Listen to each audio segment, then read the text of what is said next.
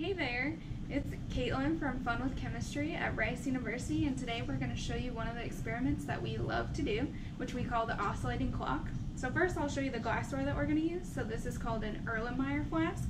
And what I'm going to do is I have three solutions here and I'm going to pour them all into this Erlenmeyer flask and we'll see what happens. So first solution is called solution A, which is comprised of potassium iodate and sulfuric acid. So I'm going to pour that in here. And as you can see, it's just a clear solution still. And then I'm going to pour solution B, which is a combination of malonic acid, manganese sulfate, and starch in water. We're going to combine those two. You can see it's still just a clear solution. And then the last solution is just some hydrogen peroxide. And let's see what happens when we pour this third solution in.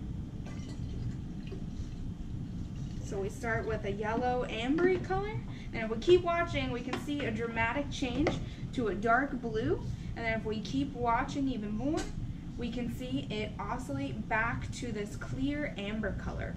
So we call this the oscillating clock reaction because this reaction will continue going in a circular motion for about five minutes. And basically the way that we like to explain this is it's a circular reaction because we start with chemicals A and B. Those react together to form a chemical C, which then inside the solution there's also something called D. So C and D react, which then forms A again, and you just complete the circle. So the kids that we show this demonstration to love this, and this will just keep going for the next five minutes. Thanks for watching.